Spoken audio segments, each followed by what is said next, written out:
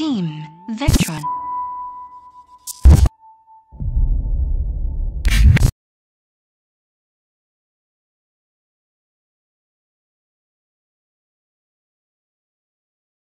I think the effect of robotics and STEM studies will be on my mentality. It's a very different and special kind of learning and seeing the world. In the future, I'll be able to develop my real abilities and be the best version of myself.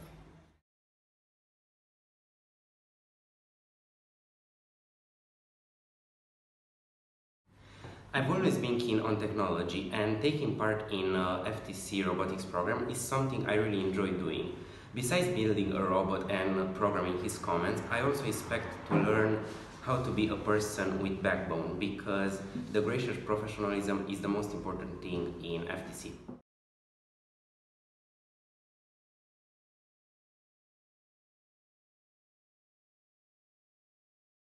In the future, I plan on becoming an engineer, so I find this program to be a good step into the right direction.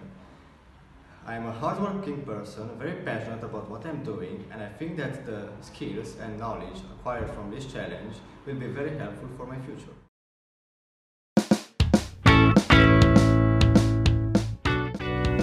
Our team has taken part in First Tech Challenge since Velocity Vortex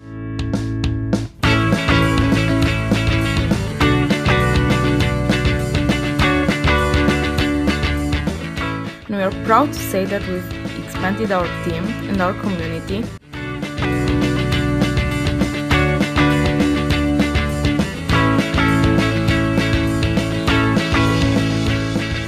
while also acquiring knowledge and making new friends.